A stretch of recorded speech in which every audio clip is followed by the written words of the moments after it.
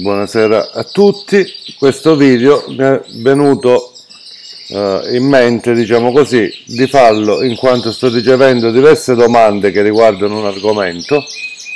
Questo argomento, come capirete dal titolo, riguarda le femmine che spiumano i piccoli nei nidi.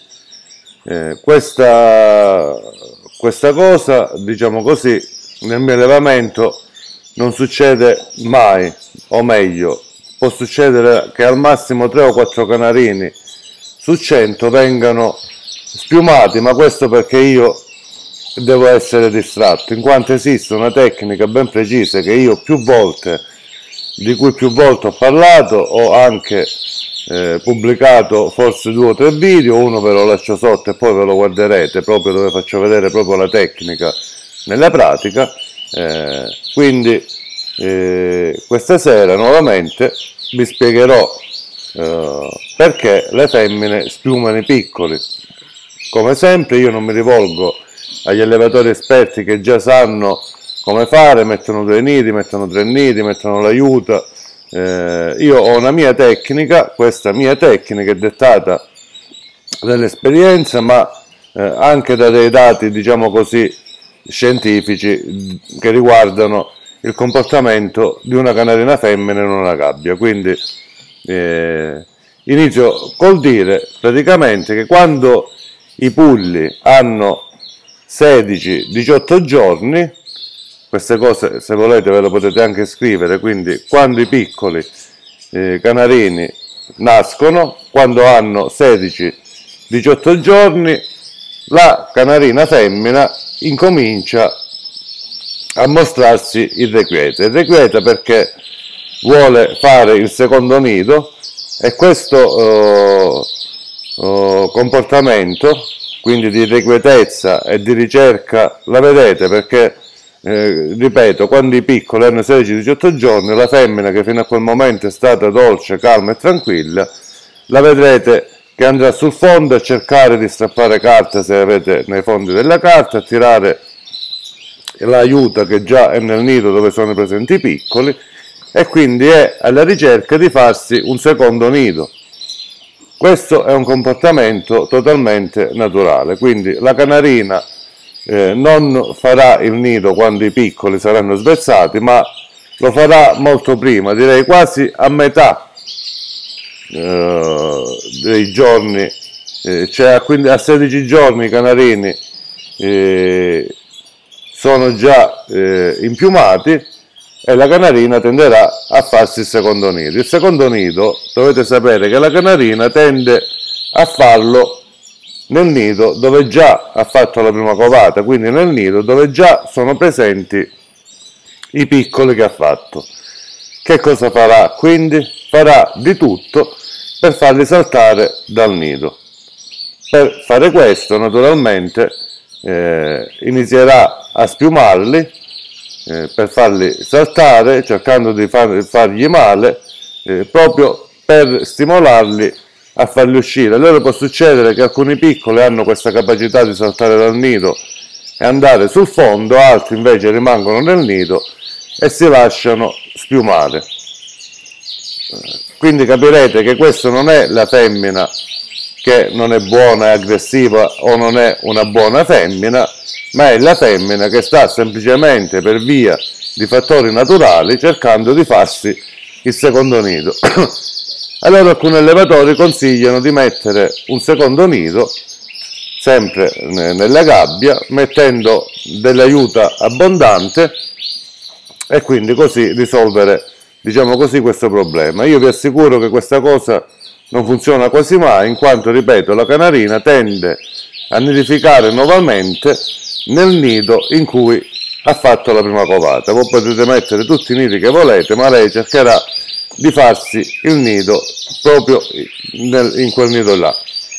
Quindi come si può ovviare a questa cosa? Si può ovviare in un solo modo, mettendo un separé eh, tra i piccoli e la mamma e i genitori, mettendoci un separé, quindi in questo modo la canarina non potrà arrivare al nido dove è deposto in quanto impedita dalla griglia, quando metterete il nuovo nido vedrete che praticamente immediatamente eh, quando i canarini avranno 20 giorni, lei inizierà a costruirsi il nido eh, senza problemi dall'altra parte. Per fare questo però bisogna prendere delle accortezze. Quando voi mettete il separé e mettetelo senza paura, ripeto guardate bene il video dopo che vi lascio il link sotto questo, sotto questo video che sto registrando, c'è una cosa molto importante da fare che è quella di allargare le griglie delle sbarre del separé. Vedete questo è un separé di una gabbia con le griglie in con le sbarre non allargate, lo potete vedere bene. E adesso invece vi faccio vedere quello che utilizzo io con il mio metodo, che ecco, è un separé dove io, vedete, ho allargato praticamente i buchi con una pinza ecco qua lo potete vedere bene.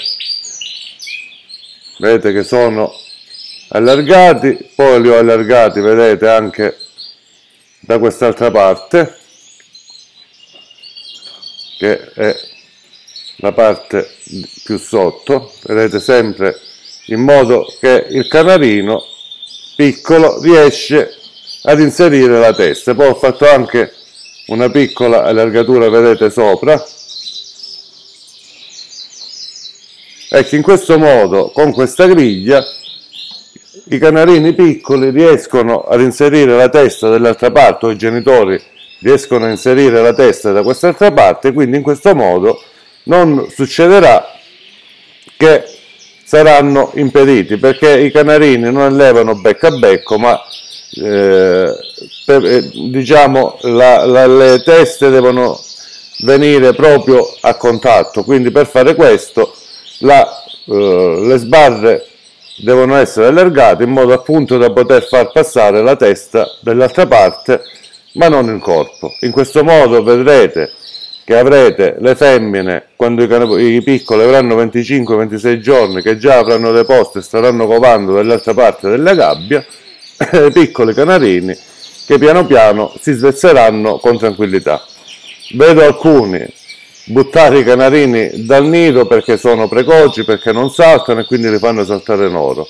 Eh, fate attenzione perché questa è una pratica molto molto sbagliata in quanto i piccoli canarini quando saltano dal nido lo decidono loro e lo devono fare possibilmente, dato che siamo in un ambiente protetto e non in natura, quando se la sentono e nel modo più tranquillo possibile. Per farlo bisogna separarli dai genitori a 18, se io li, li separo gli spagnoli addirittura a 14 giorni, ma diciamo massimo a 20 giorni per me è già tardi, quindi se effettuate questa operazione la dovete effettuare quando i piccoli canarini ancora non sono saltati dal nido.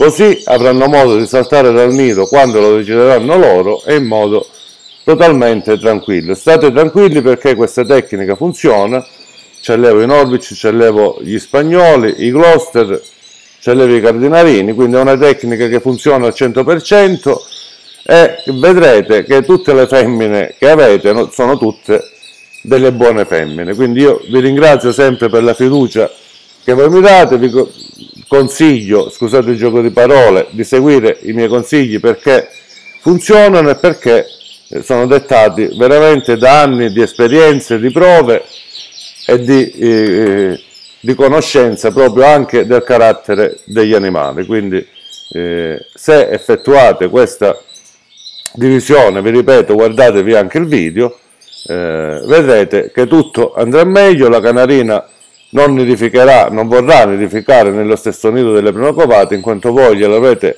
impedito e messo dall'altra parte il nido, diciamo così, pulito, perché l'intento delle canarine non è quello di spiumare i piccoli, ma è quello di buttarli dal nido per costruirsi un nuovo nido. Una volta che li ha buttati, li spiumerà per farsi il nido con le piume, cosa anche questa naturale. Se voi li separerete, lei non potrà arrivare a spiumarli, vedrete che accetterà subito l'aiuto e quindi non avrete problemi. Vi ripeto, guardate il video eh, che ho girato un paio di anni fa e ho inserito anche qualche piccola foto alla fine di questo video per farvi capire bene quante femmine io ho che stanno covando e con i piccoli ancora nel nido e ancora trasversate. Grazie a tutti e a presto.